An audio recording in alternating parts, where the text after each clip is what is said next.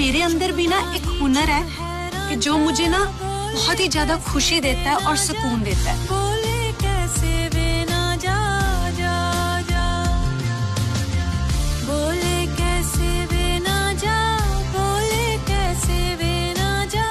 हुनरबाज वो मंच है जहाँ आम लोग आते हैं कि उनके सपने पूरे हो सके और अपना हुनर दिखाते हैं। हुनरबाज देश की शान 22 जनवरी से शनिवार रविवार रात 9 बजे